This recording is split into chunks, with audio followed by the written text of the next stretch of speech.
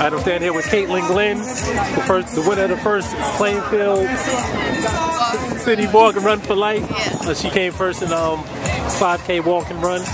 Uh, can you tell us where you go to school and what grade you're in? Um, I go to the Magnet County High Schools. I go to UC Tech, and I'm in ninth grade. Um, when you came out to run today, did you expect to run as well as you did? It's actually not my best time. Um, I'm actually training I just wanted to like warm up for it. At any time out there, did you feel any tightness or was it like a perfect day? I felt like it was a perfect day. It's like it's a little chilly before you start running, but as soon as you start running, it's uh, That's a, really up. a, a lot of Plainfield track runners out running. Did you all see this as a chance to get an extra run in? What? Was this like an extra chance to get a run in? Yeah, pretty much was because I'm getting ready for county Tuesday. Were you working on your form or just the time? I was working on my form and the time. Um, so yeah. All right, thanks a lot.